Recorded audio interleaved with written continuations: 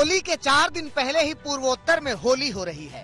जमकर रंग गुलाल उड़ाए जा रहे हैं। चेहरे खिले हुए हैं लोग नाच रहे हैं गा रहे हैं खुशियाँ मना रहे हैं मिठाइयाँ बांट रहे हैं फुलझड़ियाँ पटाखे जला रहे हैं।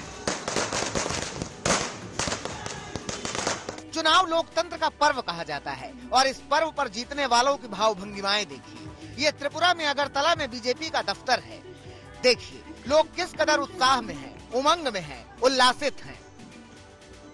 ये सब तमाम जो लोग हैं, ये बीजेपी के सपोर्टर्स हैं और इनके लिए जो होली है वो पहले ही आ गई है। आप देखिए, इन सबने गुलाल लगाया हुआ है। यहाँ पर पटाखे फोड़े जा रहे हैं। मिठाइयाँ बांटी जा रही है। इनका साफ़ तौर पर कहना है कि ये नरेंद्र मोदी की जो लीडरशिप है, उसकी जीत है और ये दर्शाता है कि बीजेपी अब केवल और केवल काउ बेल्ट की पार्टी ना रहकर एक पैन इंडिया पार्टी है। आप देखिए, लगातार इनको खासा जोश है यहाँ पर लड्डू बांटे जा रहे हैं, मिठाइयाँ बांटी जा रही हैं, रसगुल्ले बांटे जा रहे हैं ऐसे बात करने को बताइए रहे हैं देखिए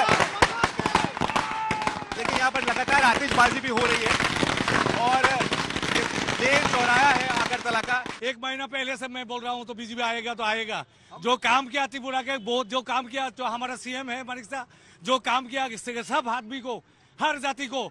ऐसा तरफ़ ऐसा उन्नति किया। आज तक कभी कुछ दौड़ने की नहीं किया। त्रिपुरा में साफ़ हो चुका है कि बीजेपी एक बार फिर से सत्ता में वापसी कर रही है। इसीलिए पूरा का पूरा दफ्तर मगन है। महिलाएँ नाच रही हैं, पुरुष गा रहे हैं। आकाश को रंगों से सतरंगी कर दिया गया है। एक दूसरे पर लोग गुलाल मल रहे हैं। बीजेपी नेताओं और कार्यकर्ताओं के साथ बीजेपी के सांसद विप्लव देव भी दिख रहे हैं। वो भी रंग में पुते हुए। इधर सूबे के सीएम मानिक साहा ने माना कि ये उनके विकास कार्यों की जीत है। उन्होंने पीएम मोदी की जमकर तारीफ़ की।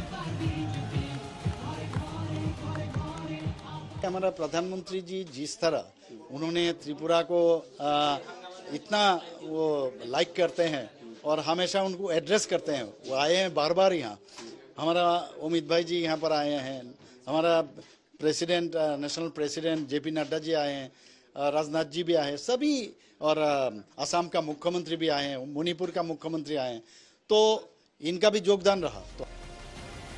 बीजेपी उम्मीद जता रही थी कि त्रिपुरा में वो बहुत बड़ी जीत दर्ज करेंगे। बहुत बड़ी जीत तो नहीं मिली मगर जीत तो जीत है। इसीलिए कार्यकर्ता भी प्रसन्न।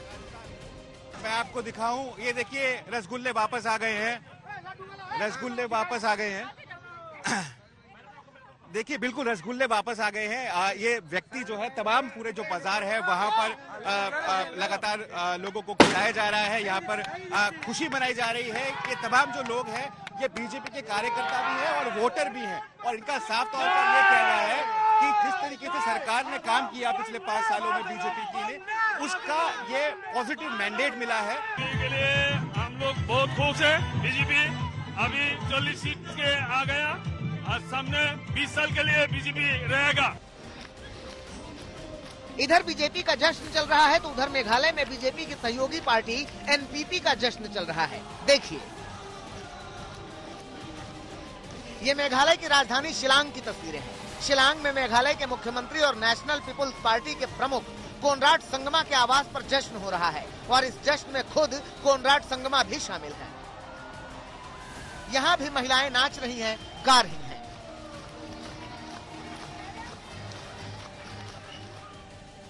नागालैंड में भी बीजेपी के लिए अच्छी खबर आई है।